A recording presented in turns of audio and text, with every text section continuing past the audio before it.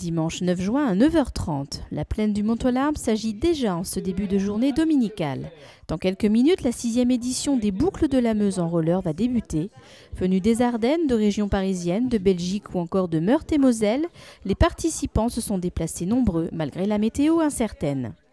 C'est dans le but de permettre au plus grand nombre de découvrir les paysages jardinais tout en valorisant la voie verte que la section roller de l'association sportive des cheminots de Charleville-Mézières a créé cet événement il y a six ans. La particularité de la randonnée des boucles de la Meuse, c'est qu'elle est entièrement euh, située sur la voie verte, que c'est une voie particulièrement adaptée aux rollers et surtout avec très peu de difficultés puisque elle suit le parcours de la Meuse tous les gens qui la parcourent euh, depuis plusieurs années nous disent que le paysage est exceptionnel, que la randonnée est facile parce que à plat, et que c'est un, excellent moyen de découvrir le département puisqu'ils sont tous euh, émerveillés des paysages, etc. 40 km de voies vertes de Charleville-Mézières à Revin attendent les plus courageux des participants. C'est avant tout une balade ludique et conviviale qu'ils s'apprêtent à vivre à l'occasion de ces boucles de la Meuse en roller.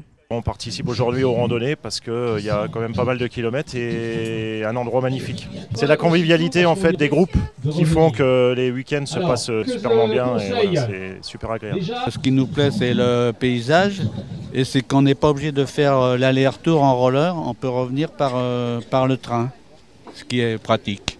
Nouzonville, Joigny-sur-Meuse, Bonny-sur-Meuse, Monthermé ou Les Fours, à chaque village traversé, un ravitaillement bien apprécié des coureurs est proposé. De quoi boire et manger pour reprendre des forces avant de repartir de plus belle. À mi-parcours, les participants restent motivés.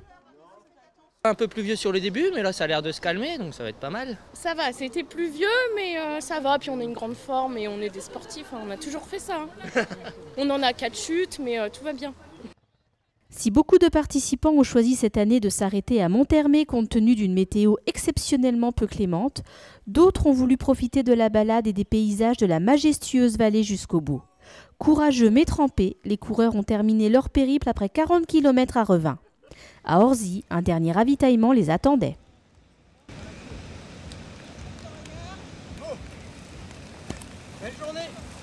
C'était super, franchement le bitume est impeccable, le profil c'est super plat, c'est génial, le décor nickel, il y a juste un truc, c'est il pleuvait un peu.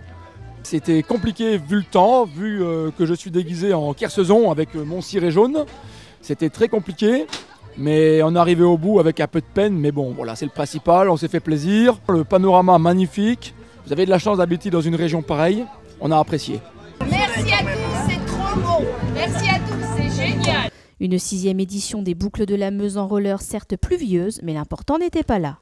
Magie de la vallée et enthousiasme des coureurs ont suffi à ensoleiller l'ambiance de cette randonnée d'exception.